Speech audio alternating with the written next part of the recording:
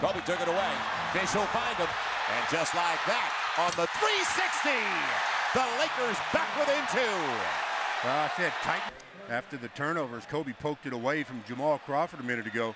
Gets the pass, the easy hoop. What's he do? Well, little 360 for the uh, for the crowd.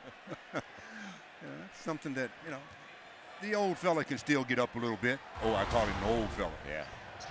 You know you're going to hear about that.